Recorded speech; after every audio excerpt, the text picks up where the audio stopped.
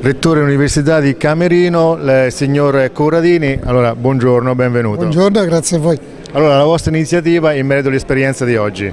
Ma intanto la Cina vede coinvolta l'Università di Camerino oramai da tantissimi anni, sono più di 150 le ragazze e i ragazzi che sono a studiare nella nostra università e quindi nella nostra regione.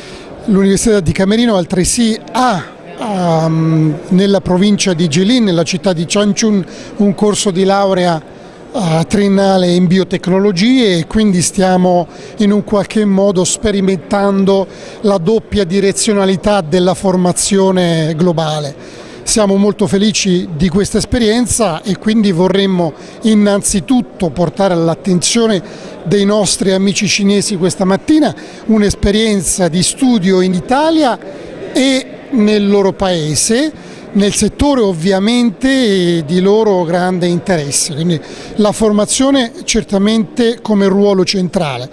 Mi sembra di capire però che ehm, il gruppo che partecipa oggi a questo incontro ha dei fortissimi interessi anche in altri settori, per esempio quello dell'architettura e dell'urbanistica, quello della farmacia, quello delle scienze giuridiche e quindi come dire, metterò a disposizione eh, dei nostri amici tutte le conoscenze e competenze di cui disponiamo. Grazie gentilissimo. Grazie a voi. Grazie a voi.